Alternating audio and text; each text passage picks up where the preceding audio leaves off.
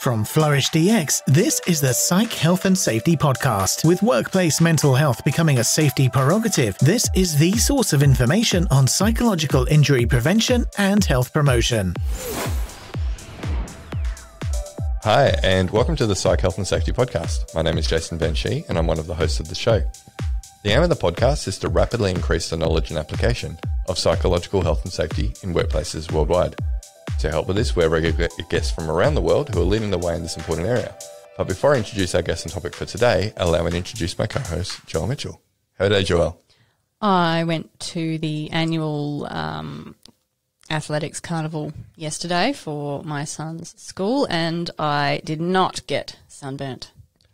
Yeah, so that's an accomplishment. Yes, Because last last year you got burnt, wasn't it? I got burnt on the backs of my hands last year. Yeah, yeah, we'll actually have to find the corresponding podcast episode from last year and um, yeah, recount that story of the sunburn. if you So want to, if you want to allocate that time to somebody to do that, Jason, you can. Yeah, we'll get Jack to look it up. And then I'm sure can- that's an excellent He can turn it into a meme because he loves, you know, spending his time on memes. He does. I'm sure that Brendan won't mind at all um, Yeah, using Jack's time like that, yeah, absolutely. just, just for the sake of an internal meme. oh, we'll put it on LinkedIn. Oh, we'll it'll be- share it yeah, everywhere. Yeah, with yeah. my um my my progress. yeah. Yeah, Um, so did you put sunscreen on the back of your hands I time? did twice Twice. in the yeah. morning and after the lunch break. Yeah, because the UV's not that high, but you are, um, we're talking about it today, you, you're not a ginger, but you come from a family where there is strong ginger lineage. There is there are gingers in my family. Yeah, Yeah, you have Yeah. the skin of a ginger, not the hair I of a do. ginger. I do. Yeah. Um, I've got um, yeah. I, I don't I don't uh, really tan. I just burn and then I peel and then I'm white again, Yeah. which is a great incentive for me to um, maintain good skin health. There you go. Top a- tip, top tip, listeners. Yeah, if you if you want to avoid skin cancer, listeners, just have skin that burns really easily. Yeah. uh, if only, um, yeah, it wasn't just genetic, right? Like, Well, some of it's genetic, some of it's environmental. yeah. Um, cool. Uh, any other news? Um, Did uh, they haven't introduced parkour into uh, athletics carnivals yet? Believe it or not, no, they haven't. Oh, they should have Ninja Warrior courses. Ronan would love that. They, sh- I mean, I'm sure that the kids would probably enjoy Yeah. it more. The parents would definitely enjoy it more. yeah. It's a pretty boring day in athletics carnival. Like, yeah. there's, you know, they they all do the run, the t- 100 meters or whatever it is, and then like they do the team events, and basically each kid does like one of the different team events. Mm. So there's just lots of sitting around, wondering what the hell's going on, um, and then after that, the senior and the junior schools like swap sides of the oval, and then it's the tabloids, which is even worse because they're all just standing in a line, and then they get to the front of the line and they have to like throw the ball and try to get it into the basket. yeah. Um, they call it tabloids. Tabloids, yeah, Okay. and it's just interminable. Like, Yeah. and it's it's in the afternoon, so the sun's sort of starting to get hot, Yeah. and you're just literally just sitting there waiting for your kid to get to the front of the queue, so that they can see that you've watched them throw the ball, and then give them a thumbs up, and then you have to wait another 15 minutes before it's their turn again. Yeah. Ugh. Well, uh, get this. So, um, you know, the sport gene runs strong in my family, right? It does, it's yeah. more from my wife's side than, than my side. I'll admit it.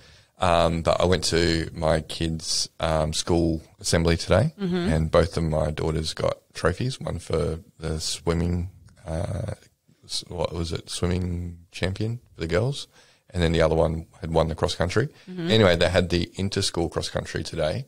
Uh, one of my girls came 27th, and she was quite happy with that. She came third deliberately uh, for cross country just so she could get the day off school uh, today. So she didn't really care how she went. My other one, who won, Nice, I if like you it. recall, by 400 meters in a 1500 meter race, I do recall you might have mentioned it once or twice. and I might have, if Sportsbet were offering odds, I would have probably taken a bet Mm. um, on this one. But she did win the inter school as well, so smashed in. She's a, Impressive. she definitely takes after my wife. My son came dead last in the race, um, continuing his grand tradition of coming last in, in the running races Yeah.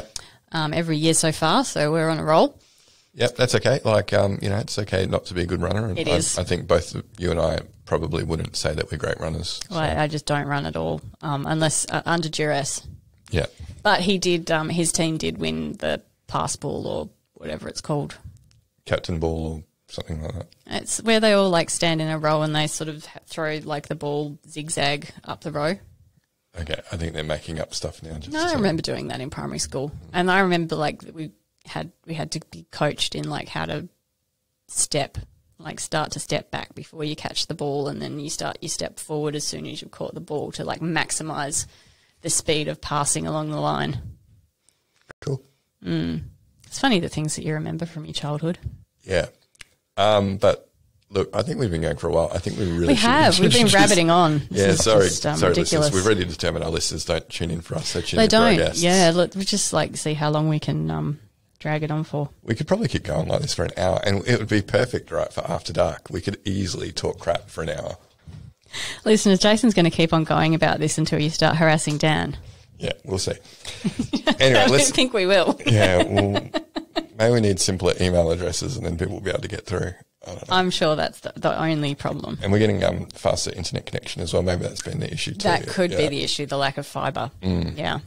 All right, so look, let's introduce our guest. Yep. Uh, with 30 years in senior leadership roles in law firms and a lived experience of burnout, he has a passion for creating a sense of safety, inclusion, and belonging in the workplace. He is the founder of Whole Business Wellness. Welcome to the podcast, Brian Henderson. Hey Jason, hi Joel. Lovely to be on the show. Thanks for inviting me. Yeah, and great to have you on, mate. Um, now, you're based in Hong Kong, aren't you, Brian? Yep, yep, enjoying. We just had a typhoon up here, so uh, it's been interesting times in Hong Kong. Yeah, so you're Northern Hemisphere, right? So it's your, your summer and our, our winter. Yeah, hot and steamy. Yeah, I was up in Singapore a month ago, and um, I forgot that it's just north of the equator. So uh, I, I didn't. I I expected it to be warmer, but not like really, really hot and humid. So that was a shock. I feel like that's just always Singapore, though. Yeah, well, that's right. It's kind of like Bali, right? It's always humid. Um, but I didn't expect it to be their summer and humid. I thought it would be winter and humid. Yeah. It's a sneaky one. I think it's only about 50 Not meters much. northern hemisphere. Not, yeah, there's not much difference, I don't think. Yeah. Warm. Hot, hot and Um, steamy all year round in Singapore. and same Yeah. time, daybreak and dusk every day, same time. No seasons. Yeah. It must be strange just to to live without seasons. Mm. How do you know what time of year it is? Calendars. That, I mean, that's what. Yeah. What would you do without a calendar? I. Just, just live. oh dear, Brian. Um, you're not a big uh, a listener of of content, but what are some uh, books or articles that you've been enjoying lately? Yeah, um, yeah, I do enjoy my reading. I find that's just a nice way to relax, and you know, part of what I try to teach people is to find a way to disconnect from uh, social media or devices, any of whatever sort. Um, so I find reading is actually quite quite a nice way to do that. Um, the sort of things I've been reading in the last month or two, um, Brene Brown, I read Dare to Lead and Atlas of the Heart. Just fantastic. Um, so many great insights. Uh, and then Amy Edmondson, you can catch her on uh, YouTube, I will admit to occasionally. And uh, she also does a podcast, which I listen to occasionally. So they're both very much into emotional intelligence. Uh, Amy Edmondson is a, a professor and academic, and she researches psychological safety. Um, so very much at the heart of what I do. So when I'm reading their work, I'm actually figuring out how can I apply this in my own uh, training and, and coaching. Another great book that I would strongly recommend is by Kathryn Mannix with a K and a Y. Uh, and she wrote a book called Listen. Uh, Catherine is actually an end of life doctor, so um, palliative care. So she has a lot of conversations with patients who are you know, in the process of, of dying, sadly, and of course with families who are struggling to process all of that. Um, and her book is absolutely wonderful. It's a combination of just stories of the way those conversations have gone and the sort of circumstances around them. Um, and then a little bit of a framework around how can you help somebody to tell their own story so they can make sense of what's happening in those very, very difficult circumstances. So it's, it's an absolutely beautiful read. Uh, then more broadly, uh, I'm also into the diversity and inclusion space. Um, so I read Mindful of Race by Ruth King.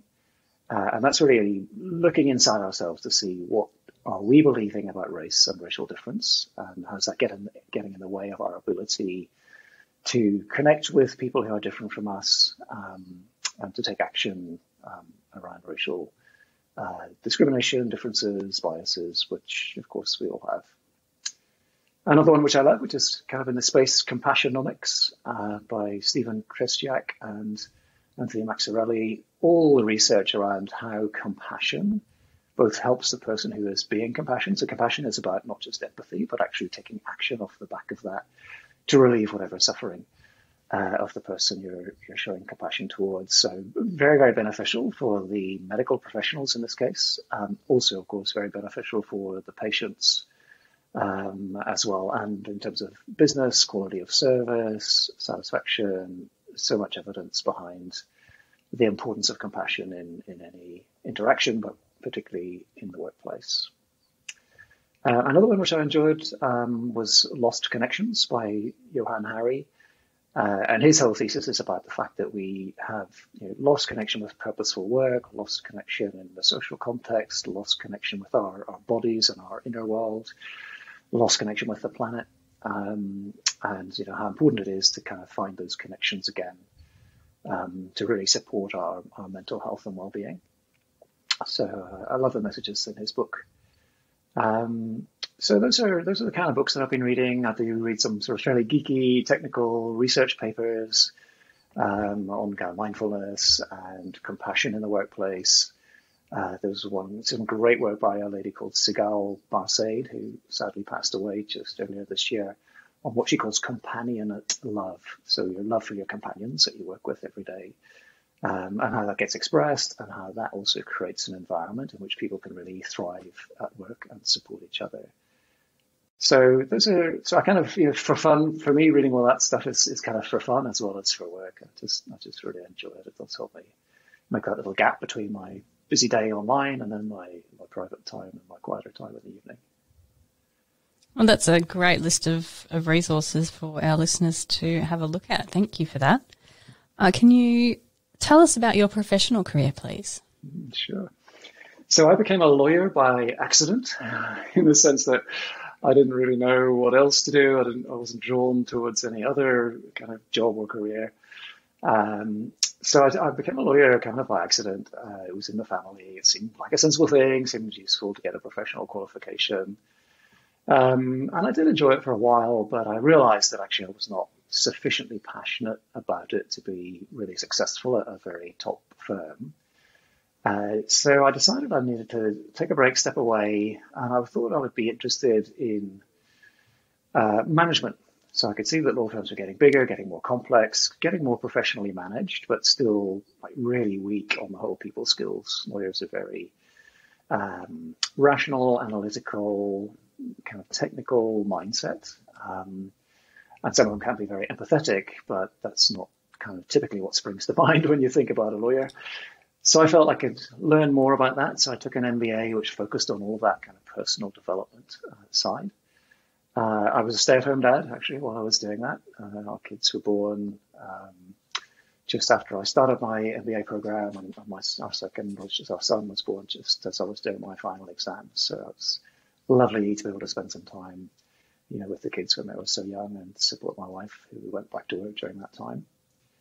And then I moved back into law firms, various management roles, global roles uh, of various different types, chief operating officer, practice management, corporate social responsibility, uh, coaching and development, faculty. So really interesting times. Uh, I spent about 13 years at a firm called Linklaters. Um, and then I felt it was time after the global financial crisis. There was a couple of things. One was that the economy in Europe was just clearly only going in one direction, which was downhill fast. And sadly, that has not changed since 2008.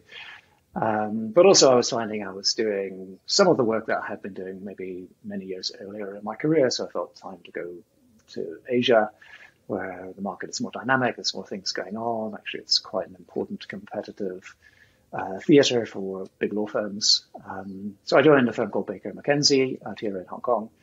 Uh, that was 10 years ago. Um, during that time, I also got involved with a charity here called the Women's Foundation, um, which supports women and girls in Hong Kong. Um, and I worked with them to develop a male ally program. Uh, so we've got now, I think we're on to our fifth cohort uh, of men who are going through this program, learning how to be an ally. What does it take? What's helpful? What are some of the issues that women face that perhaps men just don't focus on, maybe not even aware of? So that's been tremendously rewarding. And then a couple of years ago, as you mentioned, I had my burnout experience. Um, I was diagnosed with depression and anxiety. I had really chronic insomnia. I was getting maybe two and a half hours sleep, maybe three hours if I was lucky. Uh, so just a bit of a mess. So I decided to step away from that. And as I reflected on that experience, I, I realized that it was kind of weird that I didn't see it coming in, in the personal sense. I was just ignoring the signs, um, not really paying attention, not listening to my body, just surviving, frankly, certainly not thriving. Um, and I also got to reflect on, you know, what else is it that companies and organizations can do to support employees? Because I feel it's a shared responsibility. It's not just down to the individual, um, but it's also down to the employer to, you know, support and provide an environment where people can talk about their mental health and get the support they need and have whatever accommodations and adjustments they may need to you know, get themselves back on their feet. So when I reflect back on all of that, I guess it's you know it's always been something to do with you know humanity and uh, in the workplace, uh, making the workplace experience better for everybody, trying to create workplaces where people can really thrive as opposed to just survive. And so that experience of burnout um, led you to your current role. Mm-hmm. Yeah, that's right. So yes, yeah, so I created a, I created my own business called Whole Business Wellness, uh, as Jason mentioned. Um, and there's basically three work streams that we are involved in. The first is awareness raising. Uh, so here in Hong Kong, um, we're still in that phase. Uh, maybe in Australia and Europe and US, maybe people are moving beyond that now. But I like to work with people who have lived experience, who can talk about what it's like having a panic attack or what it's like living with major depression or maybe bipolar or similar. Um, so I find that really helps to make it resonate. So if you show people pictures of saber-toothed tigers and amygdalas, you know, it's kind of interesting, but it's a little in one ear and out the other. So I, I like to work with people who can actually tell what it's like to live with some of these mental health conditions and how they manage it and what do they find helpful and what do they find just annoying or frustrating when people you know, interact with them. Second part we do is all around uh, resilience building, and we use a psychometric assessment. So that's answering my first question, which is how do you know where you are on that burnout scale? so that's what our psychometric does, which I uh, I work with a woman called Rachel Alston on, who, who developed this after her own burnout experience. Um, so that gives you a score out of 100, tells you exactly where you are on the burnout scale, uh, and it breaks it down into five different aspects um, of how your stress affects you. Uh, and then where for me it gets really exciting is we can aggregate that to a team level. So you can sit with the team and say, okay, this is how your stress is showing up. Um, let's have a conversation about that. And the first thing that most people say is, oh, I thought it was just me. But it seems like we're all kind of experiencing something the same. So a couple of things on that one is yes, you are you know, in the same environment, doing the same sort of work, experiencing the same sort of pressures. So funnily enough, it does show up sort of similar ways to, you know, for most people. And of course, the second thing is we're all very good at putting our game face on and pretending like we're okay and um, hiding our struggles. So, you know, it really opens up the conversation. It allows the team to have that conversation in a safe space and it actually it gives them shared collective ownership of whatever their issues are. So what can we as a team do differently? Maybe it's less meetings, making sure they're not back to back, giving us meeting free days. Maybe it's just we need more social interaction, non-work related, just to get to know each other and support each other better. Or maybe it's something about the environment of the workplace. We just need more green space or more light or whatever. Um, so teams are always very creative at coming up with you know, an action plan. And off the back of that sort of analysis and planning comes some capability and culture building. So my clients will often realize that it's important to talk about your stresses and how you're dealing with them, but that conversation is not an easy one. So people want a bit of guidance and help. How can I have that conversation? What are the skills? How can we practice that? And some people then realize that if they don't have a basic level of psychological safety, you know, however much you practice the conversations, they probably still won't happen because people are just concerned about the consequences. So we get into psychological safety. And when I ask leaders and managers in particular to reflect on how well they are managing their own emotions and how their emotional regulation impacts their team, they can very quickly see that they need to be much more mindful of their own state and how that uh, does affect their team.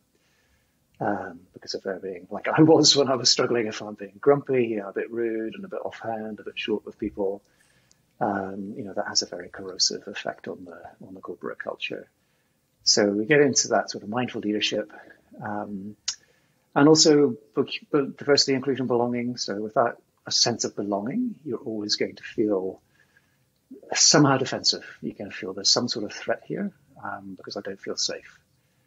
Um, so we do a lot of work around how do you create a space where people can feel like they can belong, they can bring how much of themselves they feel they want to bring to the workplace. I'm not a believer in bring your whole self to the workplace because there's probably parts of ourselves you really don't want to bring. Uh, but whichever bits you do want to bring that are helpful in the workplace, you know, how do you create that environment? Um, and that really underpins the mental health um, and everything that goes with that that allows people to thrive if you can create that platform. So that's it. So awareness raising, resilience and action planning, and then capability and culture building.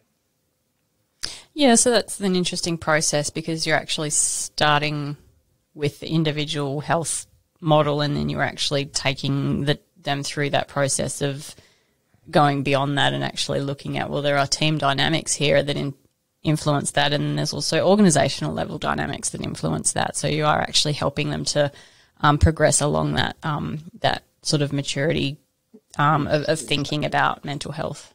Exactly. I think in our culture, in our certainly in our Western culture, maybe even in the Asian culture as well, is this kind of assumption that mental health is an individual thing, um, but actually it's a social thing. Um, there's a lot of research that shows that mental health issues, um, they arise in a social context. So left to our own devices, most people will, broadly speaking, be content. Um, but it's what happens in the social environment that causes us to be unhappy and causes us to struggle with our mental health. So, you know, again, that's one of my core messages is that mental health is a team sport. Um, you know, it's not down to the individual to fix themselves. The individual was probably fine until something happened or several things happened in their workplace or in their private life or both. Um, and it does take a it takes a village, if you like, to to help bring that um, back to to balance. Um, so yeah, there's probably a lot of you know indigenous knowledge and wisdom around that as well, which you're, you're probably familiar with too. So yeah. Mm. Yeah, it's um yeah, it's interesting as Joel pointed out, you know, how you're looking at the individual and then looking at the team and organizational kind of um, psychosocial factors, I guess that influence mental health as well um, definitely what you know we ascribe to as well that shared responsibility. Um, what we're trying to do on the podcast, though, obviously, is highlight the bit that's been missing for a while, and the employers and, and leaders going, well, actually, we have a part to play in this beyond just pointing people to assistance when we've broken them, um, and going upstream, preventing that from happening, right? But um, I'm interested to hear your perspective because obviously you started in the law uh, and then got into management, and now you're very much in the mental health industry. So, how do you find working in the mental health industry in, in Hong Kong? Well, Hong Kong was, you know, the most stressed and the most longest hours city on the planet, even before we had our social unrest um, and our COVID and our crazy you know, policy response to our COVID outbreaks. Um, so it, it, has been interesting being here. I think there's no doubt there is a huge level of stress here. So I think Vitality found that the average number of presenteeism days, i.e. days where people are in the office but just not really able to focus on doing their work, is about 35 working days per person per year. One of our other local NGOs here, City Mental Health Alliance, did a study on that uh, last year and they found in Hong Kong it's more like 50 days, 50. So it's huge. So there's no doubt that it's a major issue. Um, I tend to work in the multinational space. So multinational companies, obviously, are more aware of this. They have their global policies and systems and support. Um, so I do a lot of work in that space. I think in the local community here, the more family owned um, or Chinese, uh, mainland Chinese owned, uh, there's a lot less focus on it. Um, but what I find very encouraging is that actually the younger generation here uh, totally understand it. Um, they struggle with their mental health. They have this sense of hopelessness. What is the future for us? Will we ever be able to afford a flat because it's just so expensive here? Uh, what's the future for Hong Kong in, in Greater China? Um, and so on. And then you know, some of that was behind the social unrest, actually. That was just the young people expressing their frustration and anxiety about the future. Um, so they, they get it, and there's a lot of activity at that at that younger person level. Um, but their parents and grandparents, it's just much harder to engage them in discussions around mental health. Uh, it tends to be communicated about very obliquely. You know, I'm just feeling a, a little bit sad, so they wouldn't say they were depressed. They would just say, "Oh yeah, feeling a little bit sad," or you know, something. so it's quite indirect, if you like. Um, so it's just a different way of, of working and communicating. Um, yeah, and and how how are um, workplaces then in in Hong Kong um, positioning this? Uh, they, is it something that they're willing to invest time and resources into? Mm-hmm. Well, I think like everywhere, there's a spectrum. Um, you know, some people are very late to the party and still asking, "Can you come and do?" You know, a mental health month talk uh, or something around men's mental health or November. Um, others at the other end of the spectrum, my, my law firm that I mentioned, Linklaters, I just won kind of like the top uh, tier status for City Mental Health Alliance's um, Thriving at Work um, analysis. So they came out top, uh, and they have they've had on-site counsellors for several years already, uh, and the partners who are the most senior people in the firm, you know, they use that service and they talk to their people about the fact that they're going to see the counsellor for a quick chat um, so they've really worked hard to normalize it. Um, uh, I understand that they are, you know, they do take into account people's workload and their mental health in terms of work allocation and so on. So, so I think there's a very wide spectrum from those that are really just starting out on the journey, um, and those that have been quite thoughtful um, and really are starting. I would say not, you know, nobody's really totally addressed the systemic issues, but they're starting to acknowledge that there are some systemic things here um, and that we need to start to tackle them. Yeah, is there anything being done um, at a government level or at a more um, systems level um, with multiple organisations? Um, I mean, as I'm saying that, I'm thinking, well, yeah, with a lot of MNCs based in Hong Kong, like Singapore, probably isn't much local government push. It's more probably, like you say, from the global policies that it's happening. Uh, but is there anything locally happening besides outside of like the NGOs like City Mental Health Alliance? Well, I think, I mean, I notice a big difference between Singapore and Hong Kong. Um, Singapore, the government really has been, you know, front and center on mental health. Um, maybe their COVID experience, they had, as you probably know, quite a serious lockdown a couple of years ago. Um, I think that really brought a, a much stronger focus on everybody's mental health. Actually, their lockdown was more severe than we, ever had here in Hong Kong. Yeah, uh, and, and the they are, really and they also trying to be a big ESG hub as well. Um, yeah, exactly. So, so, they're they're much more on the front foot. They're right out there, even to the extent of providing funding. I think if you're a Singaporean-owned business, you can get 80% funding for a comprehensive program around mental health. Um, whereas here in Hong Kong, uh, you know, we just have different priorities. The government's been focused on the social unrest and the security law and they say they're focused on the housing, but nothing ever seems to happen. you know, they just have a different set of priorities, and unfortunately, mental health is really not one of them. I mean, our previous chief executive used to sort of humble brag about the fact that she only got four hours sleep a night and never had time to talk to her husband, and you know, it's you know, it's really not good role modeling from the senior leadership around mental health here in Hong Kong, unfortunately. Mm-hmm. Yeah, no, interesting. Mm. I don't think anybody should be bragging about only getting four hours of sleep a night. no. Absolutely. Mm-hmm. Yeah, no, it's not something I aspire to. That's for sure. no. Um. So, let's have a, a bit of a chat about burnout and sort of how it's portrayed in news um, social media articles, um, that sort of thing. What are your thoughts about that? Yeah, well, that is, I find more encouraging. Um, I mean, I've actually been blessed to feature in a couple of articles in the South China Morning Post, which is probably our leading English language newspaper here in Hong Kong. Um, just telling my story first time around, and then there was an American Chamber of Commerce panel where we had a, a focus on men's mental health, and so that was very well written up and published. Uh, and the SCMP has had a series of you know, um, articles on uh, burnout and mental health generally. So I think in, in the press um, and, also on social media, there is actually a pretty good level of visibility, reasonable amount of awareness. We are starting to chip away at the stigma. Um, but I think what I also see is that burnout is still widely misunderstood. Oh, you know, I'm, I'm just feeling a bit burnt out this week, but burnout is a chronic condition that takes months to build up and that lasts for months, if not years. It's not a mm. just you know, burned out this week. so you might be feeling exhausted for sure. You might be feeling run down, but the chances are you're not actually burned out. Um, so just to recap what it is, I mean, burnout is a syndrome um, which is uh, arises as a result of chronic workplace stress, i.e., it takes place over a long, extended period of time that is not effectively managed, um, which is where I let myself down. I didn't manage it at all well. Uh, and it shows up in terms of low energy and exhaustion, uh, which I've certainly experienced. It shows up in a sense of detachment, cynicism, negativity, kind of withdrawing, shutting down, which I also experienced, and also in reduced professional effectiveness. So you're just no longer able to do your job as well as you could before, which I definitely also experienced. So that's the definition of burnout. Um, as I think it's not that well understood. So the articles that I see often are lacking a definition uh, of what actually they're, they're, talking about, and sometimes the definition is not the one that's in the, the World Health Organization's book.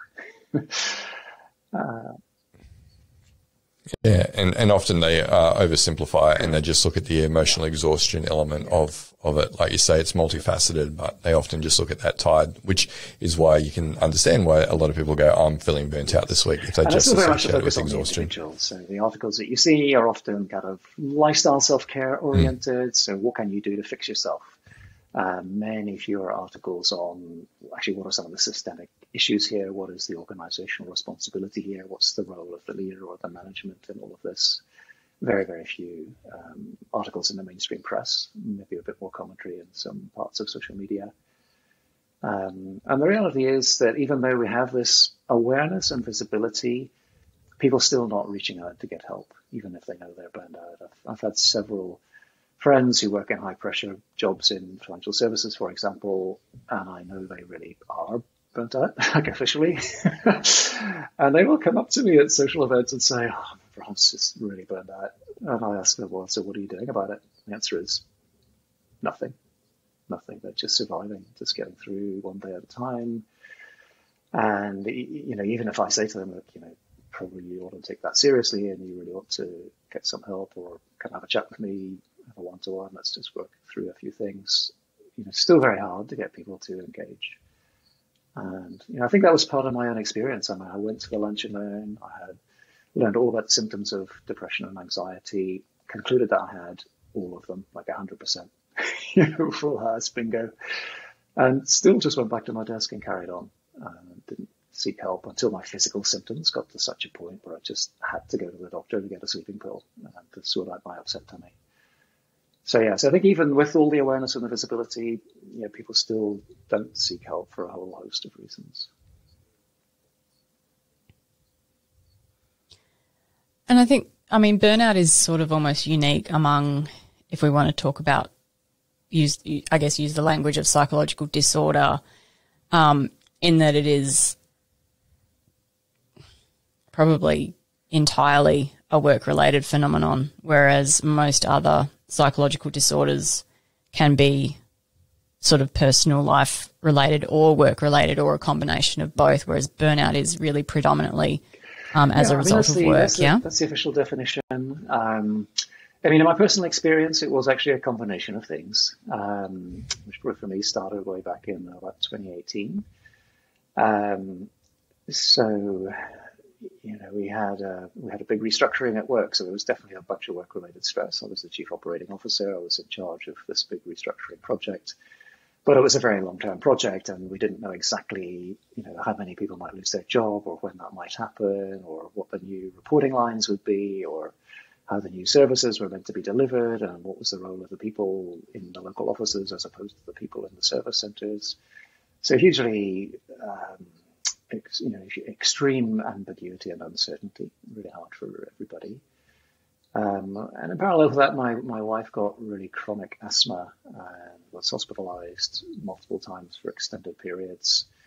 And that really changed her lifestyle. They're both very sporty. She could no longer do her sport and then got, you know, she had her own mental health struggles, um, adjusting to that new reality. And of course, all the tear gas that we had that would have aggravated her um, her, you know, her, her asthma. And then when COVID came along, at that time I had a new boss who just started and someone I needed to build a relationship with because I hadn't, he, he, was in Jakarta and uh, came up to Hong Kong, so I didn't know that well. Um, but then I was in this dilemma as to do I go to the office and spend time getting to know the new boss? Um, but if I do that, then potentially I'm putting my wife's life at risk um, because of you know, chances of picking up COVID and then bringing it home.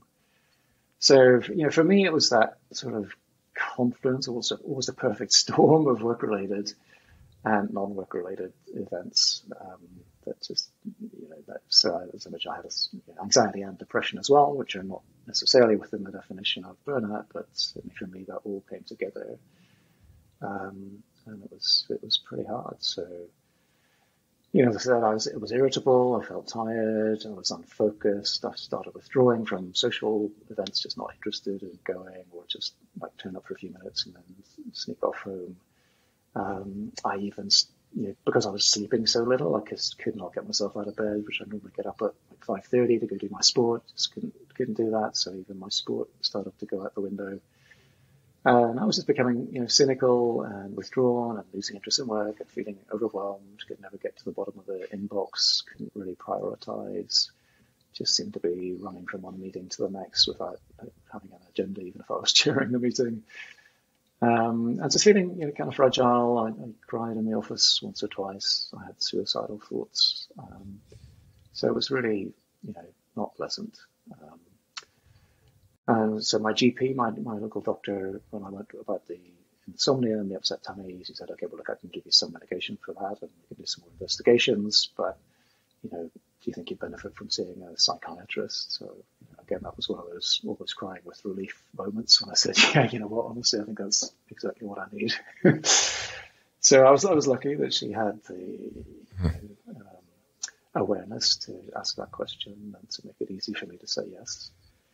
Um, so then, you know, took some medication um, for the sleep and the depression. I had uh, talk therapy to help with all that negative thinking that I was falling into. Um, but even with all that, I, I, did feel in the end like it was just not going to work.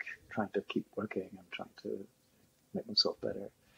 So I stepped away in mid 2020. Um, I took up meditation and yoga, journaling, uh, drawing actually is just a fun way of relaxing my mind and focusing on different sensory experiences, uh, reconnecting with friends, you know, chatting with family again. I mean, for a long time, I just let my wife talk to my mum and tried to avoid talking to my mum because I knew she would see that I was really struggling and I didn't want her to you know, see me that way. So reconnecting with friends and family. Um, so lots of things that, that really helped over time, but it did take time. It took me probably 18 months if I look back on it to really feel my old self. You know. And I knew I was back whenever one of my clients said, because I've been talking to them about the story, and, uh, one of them said, "Oh, Brian, yeah, that was a pretty heavy subject, but like you brought so much positive energy to it." I thought, "Oh, great, you know, that's such nice feedback to hear." Because you know, it's been a lot of hard work to get to that point, but yeah, I finally felt that I was back to that that level of positive energy and inner strength again. So yeah, it was tough, and um, that's why I'm, I'm highly motivated by that because it was such a horrible experience. I really would not want to, you know, anybody else to go through that if we could possibly avoid it. So you know, that's why I do the work around educating individuals, but also working with employers so they can just be more aware of this, be more kind of attuned to the fact that this sort of thing can happen and that people will hide it and they will choose not to do anything about it unless you really encourage them and make it easy for them to say, actually, you know what, you're right, I do need a bit of help here. That's a, an amazing story, Brian. Um, and uh, I think it's something that our listeners need to hear about, you know, the effects that burnout can have. And, and I think when we oversimplify it and think about it just as being exhausted, right, rather than all the other things that you experience associated with it, you know, it's easy enough to fob it off and tell people to harden up or, you know, take a week off and uh, you'll come back and you'll be okay. Uh, but you know, it obviously can be pretty despairing for the people experiencing it. So it's great to hear that. And um, thank you so much for, for sharing that.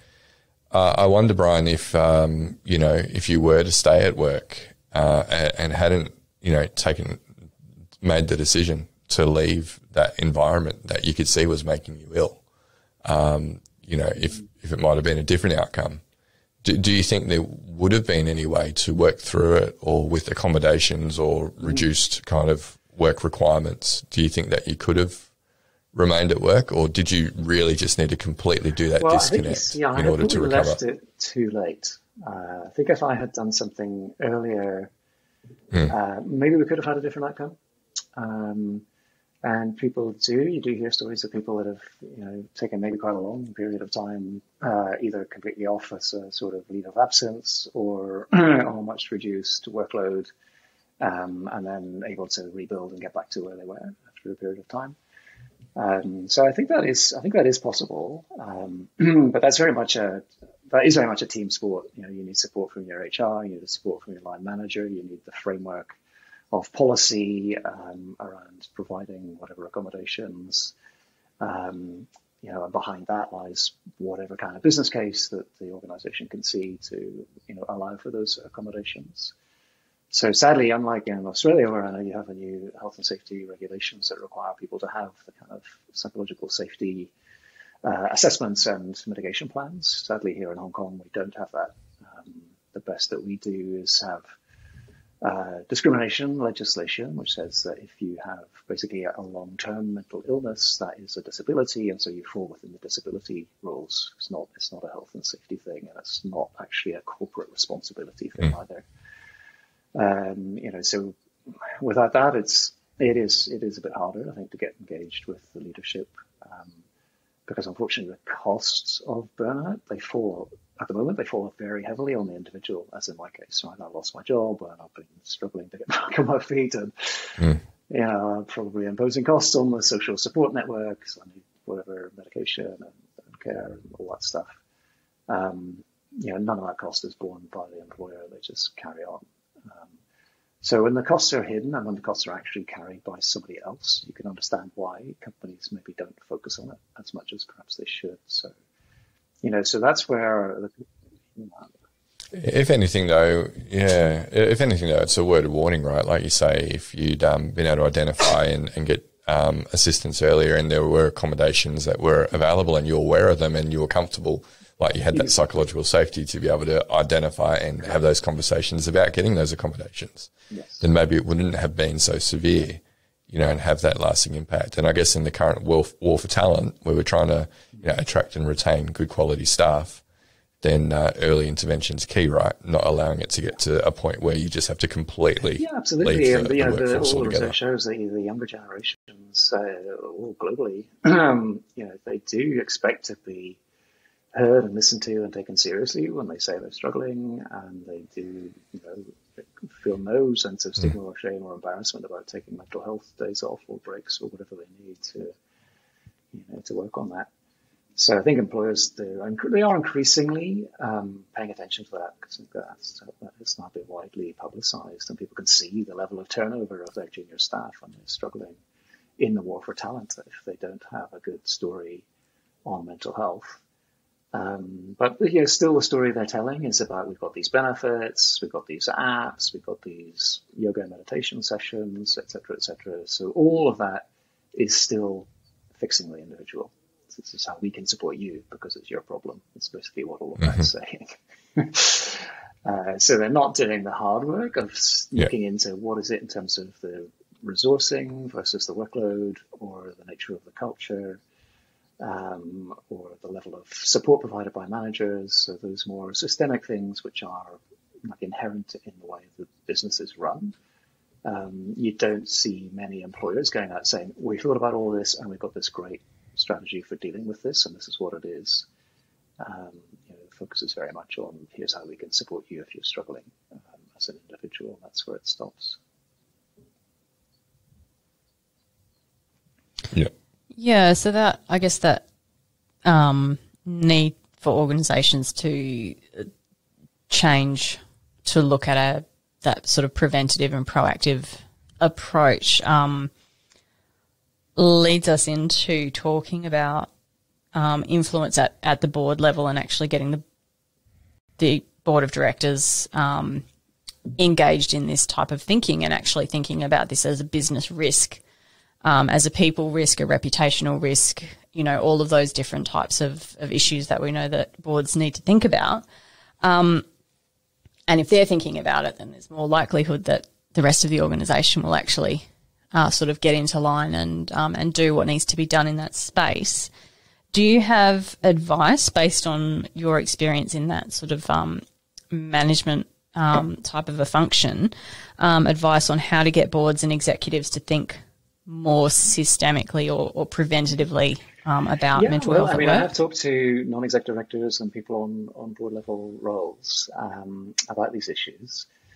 Uh, and I think, you know, there, there are a number of challenges and there are some things that we can do about them.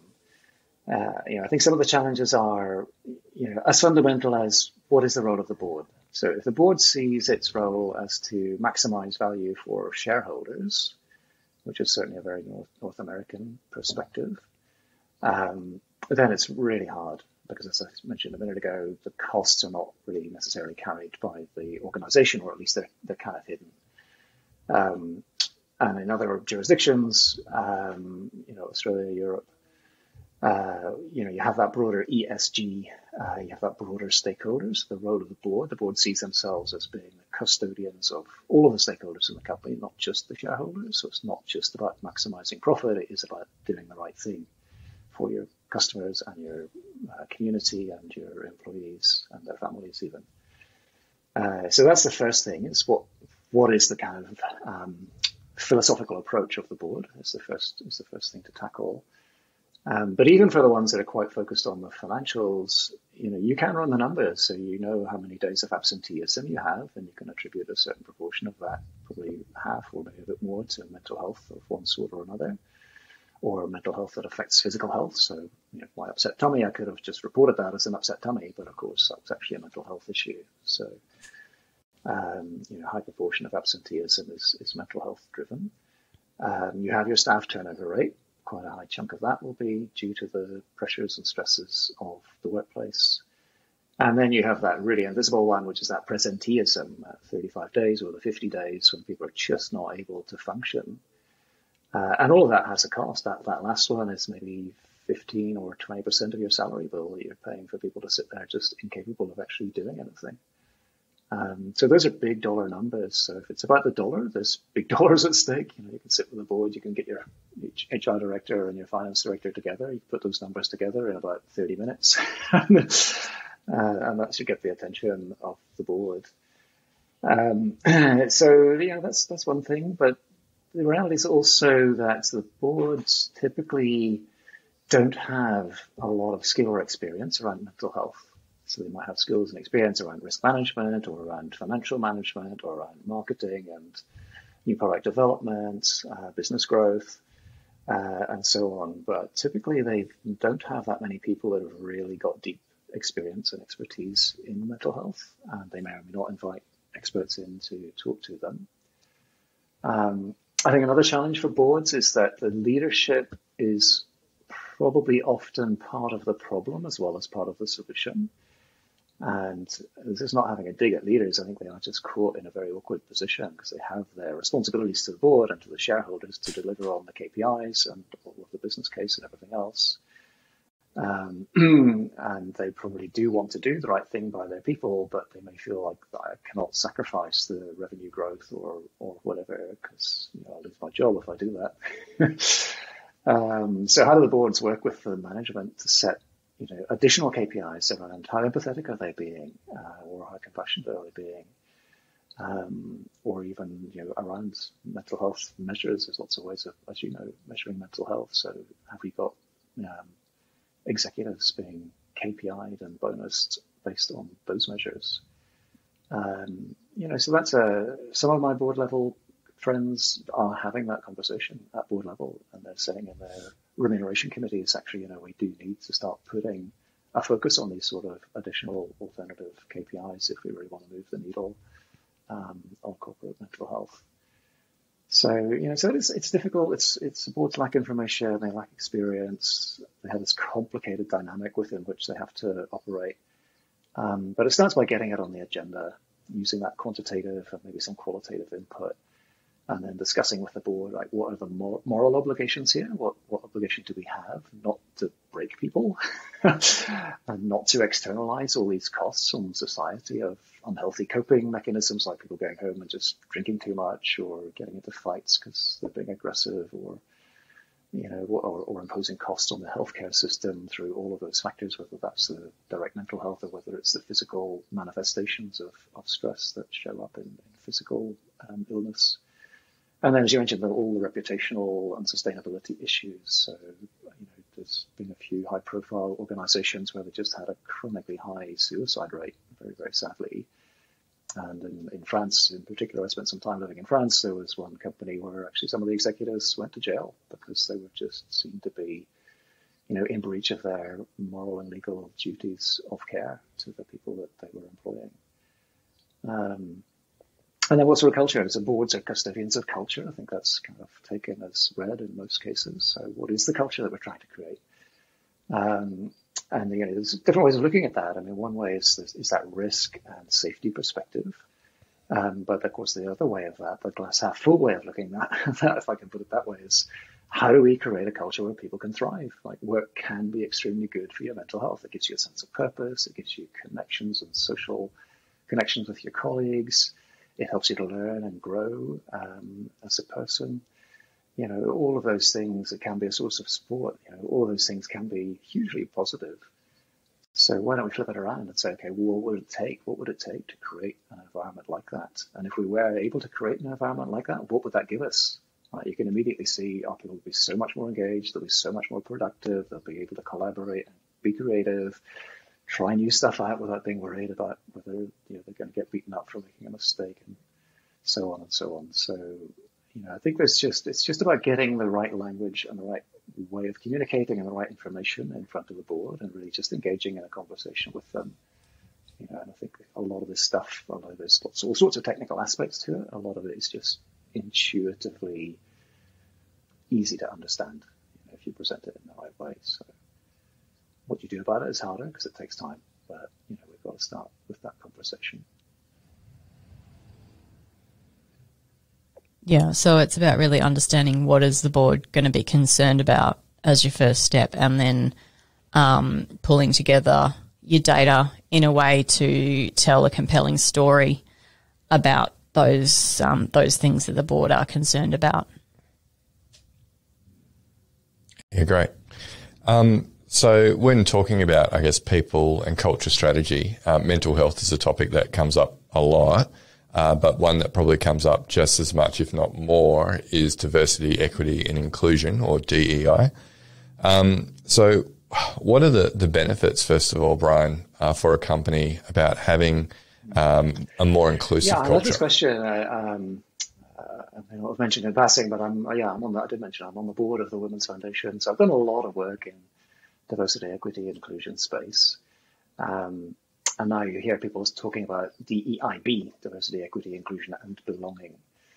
Um, so why are they doing that? Uh, I mean, I think for, first of all, people are realizing that diversity of itself is not enough. So if you have a diverse team, actually, that just makes it harder because there's all sorts of opportunities for misunderstanding and you know, lack of trust and so on. So that's why you need inclusion and I think beyond inclusion, even belonging goes a bit deeper.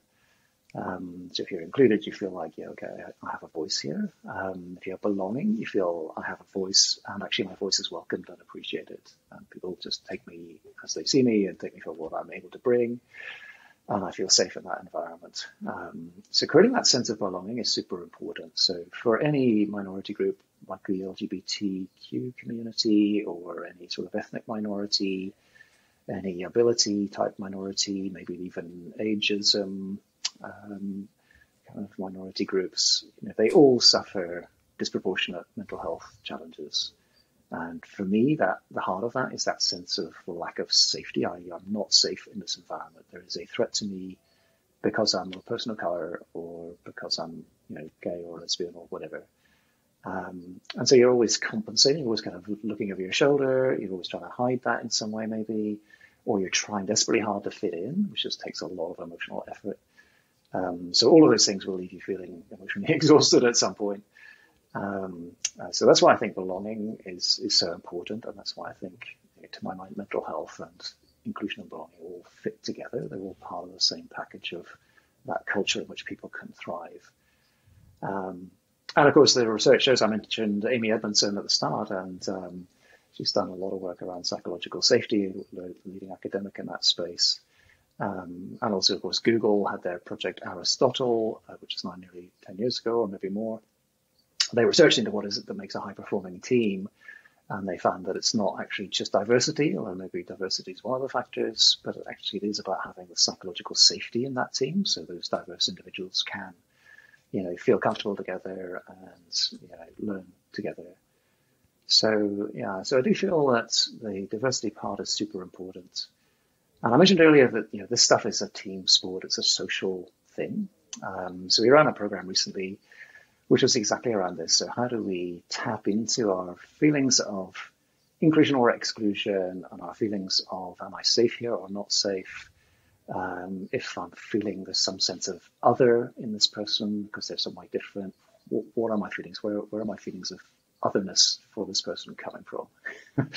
so it's really a mindful ex- exploration of bias and you know, discomfort of dealing with people who are different from you.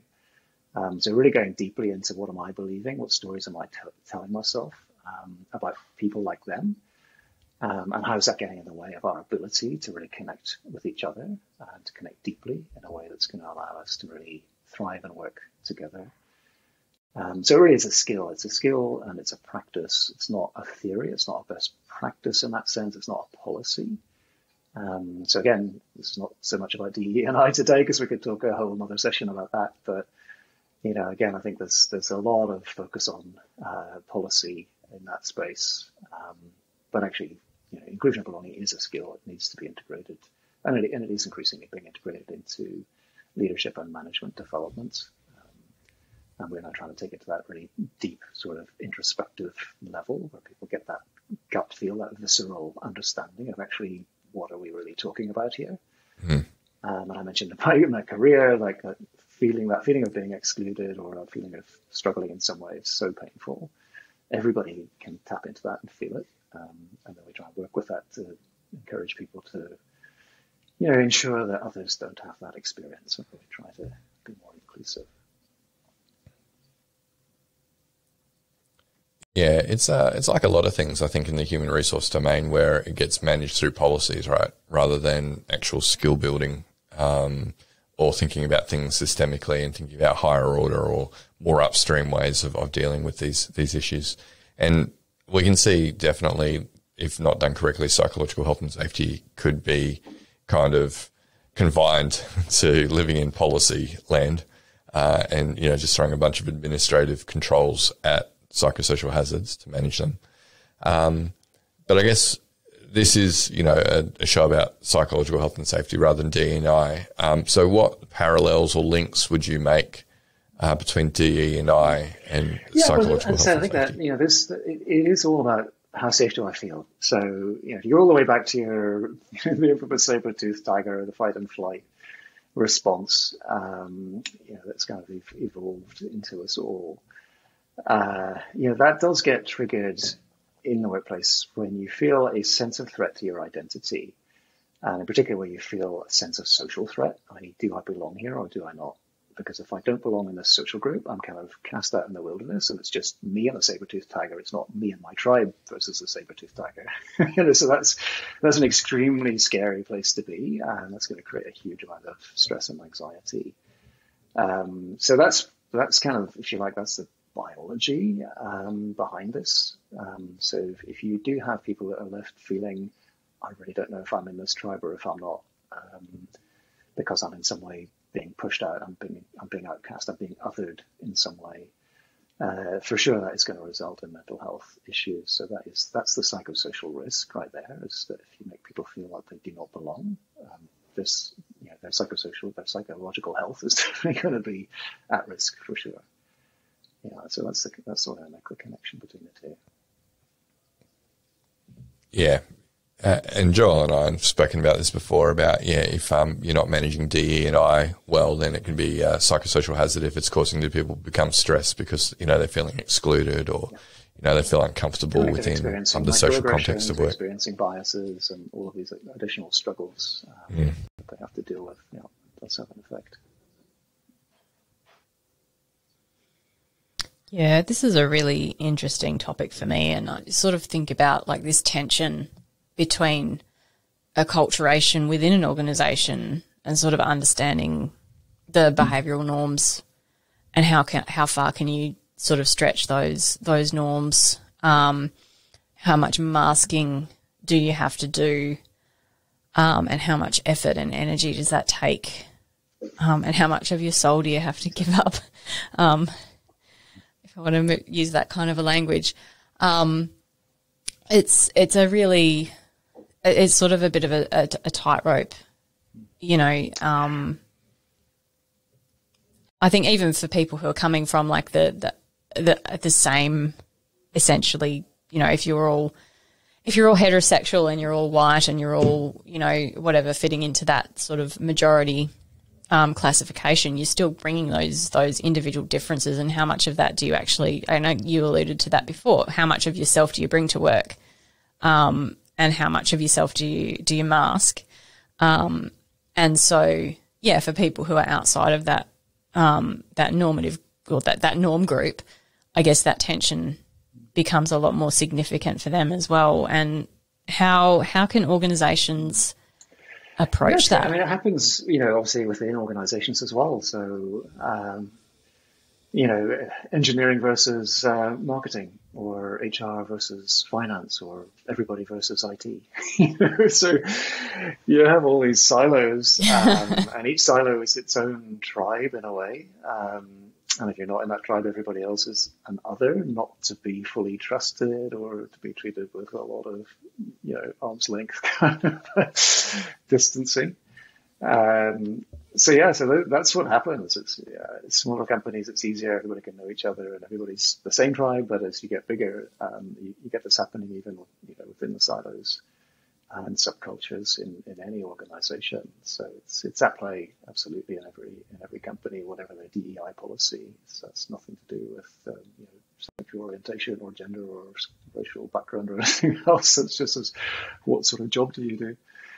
Um, so yeah, I mean, I think it's it's hard. I mean, there's a lot of research that shows that the standard sort of traditional unconscious bias training maybe doesn't help. In fact, maybe people feel like they've got a get out of jail free card. It's just well, bias. It's just I can't help it. So like, whatever.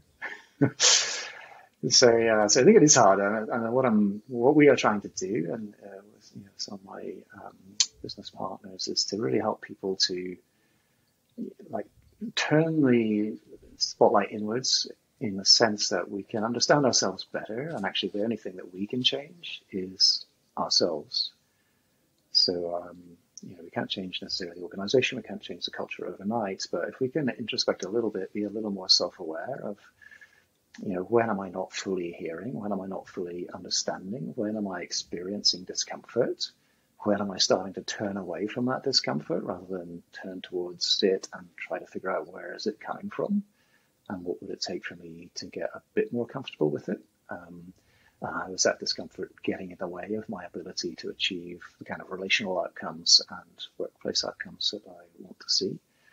Uh, so I think it's only by you know, going inwards and being much more mindful um, about you know all of that baggage that we all carry um, and how that's affecting our interactions with other people. Um, that is, you know, that's really hard work. It's going to take a long old time to do. Um, but then again, I think everybody knows there are no easy answers. If there were easy answers to psychosocial risk and mental health and diversity inclusion, we would have we would have solved it a long time ago. Um, but the reality is, it's super complicated, and it comes from kind of inside it, inside all of us. Um, so for me, I'm I mentioned my mindfulness practice. Uh, I do a lot of meditation, and, and I find that uh, that kind of contemplative practice um, and particularly when you're doing it in a group or with another person, so you can actually share experiences, uh, really helps to generate insights that do help open up this whole space of how do we create greater inclusion, greater belonging, greater sense of you know, thriving, um, greater sense of safety.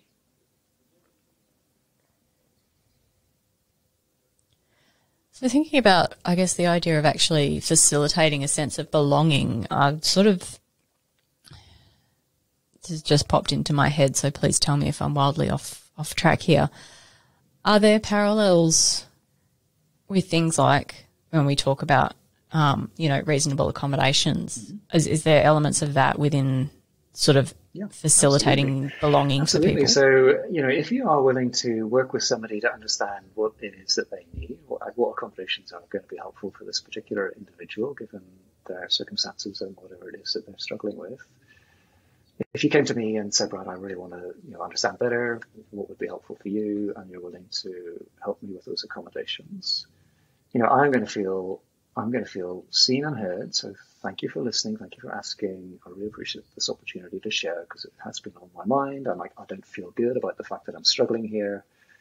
But what I'm hearing from you is that you want to understand and that you want to support me and that you value me for what I bring and that the fact that I'm going through a bit of a rough patch is not the end of our relationship. You know, quite the contrary, you're willing to work with me through that difficult period to come out in a better place for both of us. So that absolutely is going to make me feel like I'm valued and I belong here.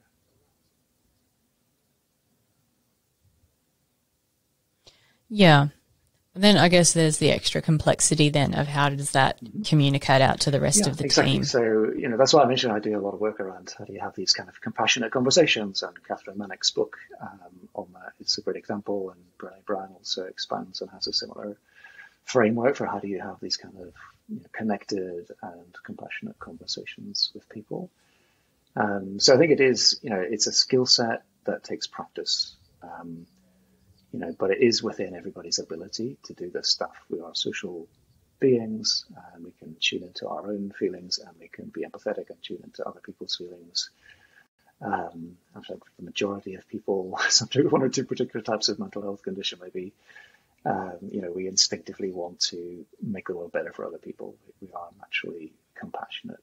Um, you know, so it's just creating the, opportunity for people to really focus on their skills, to cultivate them, to practice them, to feel safe while they're doing that, um, to feel like those sort of behaviors are actually rewarded, um, to be allowed time to do that as well. Doesn't need a lot of time. You know, in a fairly short conversation, we can have a check-in, we can find out how each other are doing, we can find support and connection, and that all goes to that sense of belonging. So you know, the I'm too busy or it takes too long is not the real reason. The real reason is because we don't like to sit with that discomfort and we don't like to do that introspection. Uh, it's a little bit scary to go through that process. So yeah, so I think that's that's you know, there's no easy answer. It's just going to take time, but it is more than possible. Absolutely, just you know, got to set that intention, set that direction, and get some support from the board and the senior executives you know, have them show up to whatever kind of belonging type practices or mindfulness type practices like this, um, have them role model that, have them, you know, show that they're actually capable of really managing their own emotional state, really able to listen deeply to people um, and hear them and respond to what it is that they're hearing. So a lot of a lot of work, but you know, it's not gonna, it's not going to be fixed overnight. That's for sure.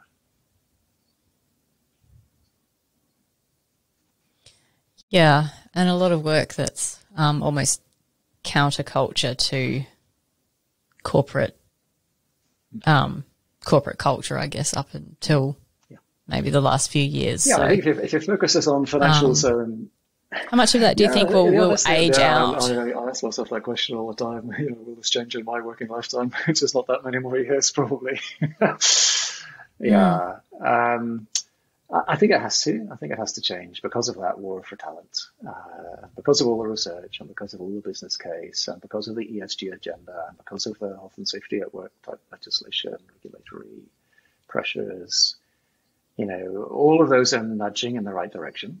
Um, very hard to predict, you know, how fast it will eventually move. But maybe we just reach a tipping point and suddenly people get it and they really start focusing on this. You know, or it may take us a little bit longer. It's really hard to know. Like gender equality and inclusion, we've been chipping away for 100 years and seem to be going backwards. LGBT rights in most countries, we did reach a tipping point. Even like I come from Ireland, um, you know, they, reached a tipping point uh, just a few years ago and voted for gay marriage and all the rest. So, you know, so it is possible that we can get to that point, um, but it's pretty hard to predict whether we will actually get there. I think all we can do is like people like you, people like me, people like the audience on this program. You know, we just got to do what we can do, talk about this, raise these issues, try and normalize the conversation, um, try and do some role modeling, and that's how we bring change.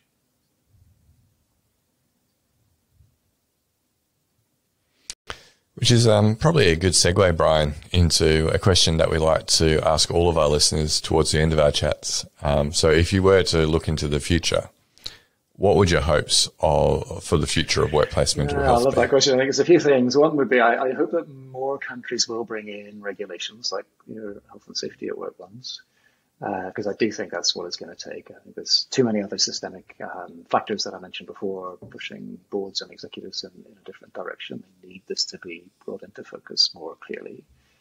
Um, I really do hope that boards will integrate mental health and well-being into the S, the social part of their ESG strategy. It's just it's just part of that moral uh, and legal and reputational responsibility that they have. Uh, I would hope that more leaders will actually open up to seek help for themselves and to talk about it openly. Um, if I was still in my work, like full-time workplace role, would I be sharing my story as openly as I did today? I don't think so. Very few leaders feel safe enough to do that. It goes back to that psychological safety, even for the most senior people in organizations. And as I mentioned, I think having, you know, I really hope that we do get to KPIs that include some of these you know, softer skills, which are actually the really hard ones. So measures of empathy or compassion, uh, and ultimately moving the focus from fixing the people to all of this understanding of the systemic and cultural uh, factors that go into creating workplaces where people can thrive. Yep, ambitious. Ambitious. Always Uh, happy. but we'd, we'd like to we'd yes. we'd like to see it happen in our lifetime, though. Yes. yeah. So, last question for you today, Brian. Words of advice for listeners who want to work in the psych yeah, well, if the safety world space. needs you. I think there's so much to do. Um, just uh, and thank you for doing this work. I know it's it's often hard. It's not, often not really recognised or valued or appreciated or rewarded, uh, but it is so important. So yeah, so thank you for doing this work and yeah, keep going.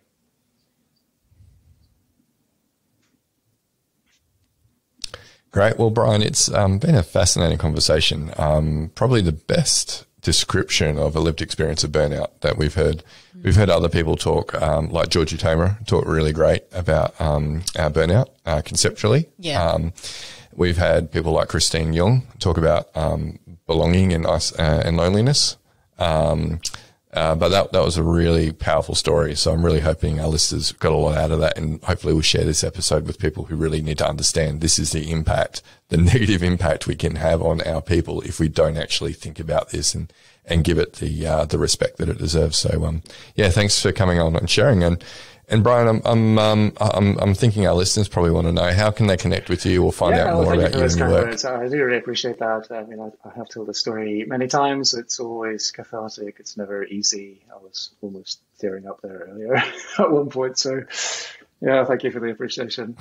um, yeah, so Brian at wholebusinesswellness.com, or you can find me on LinkedIn, uh, where I post fairly regularly. So, yeah, always happy to connect. Always happy to have a conversation and, uh, and explore all of these issues. Great, and we'll uh, put that in uh, show notes, the, the link to your uh, your your website at least, and then uh, people will be able to track you down. But yeah, Brian, thanks again. Um, can't under, underestimate how grateful we are for you to come on and, and share that story. Overestimate. Overestimate, underestimate. Yeah, We can't overestimate. It's Friday. If you couldn't underestimate, that Joel, would be it's Friday afternoon. insulting. It's I'm tired. I'm be not. I'm, more articulate. oh, look, I'm not perfect. I'm, I'm the first to put my hand up and admit that. So That's true. That is true, listeners. I cannot overestimate or overstate um, how great that was. Thank so, you. Yeah, thanks, thanks, Brian. Um, thank Thanks, you so Brian. much, and uh, we'll, we'll keep in touch. Um, but listeners, that brings us to the end of this excellent episode that I can't overestimate. Um, you can remember if you if you like if you prefer to watch these videos. Not that Brian moved a lot, but um, you can check out the video uh, on on the FlourishDx YouTube channel. Uh, we also take snippets of this uh, these these clips with our guests, which will there'll definitely be a few that uh, Joel can choose from today. Um, that we'll put up on our FlourishDx LinkedIn page. Uh, while you're over on LinkedIn, Brian's obviously over there, as as Joel and myself. So feel free to uh, c- continue the conversation via that channel. Uh, but that's it. We'll catch you next episode. You've been listening to the Psych Health and Safety Podcast. To stay up to date with the latest on psychological injury prevention, follow FlourishDx on LinkedIn and subscribe to the Psych Health and Safety Podcast at www.psychealthandsafety.com.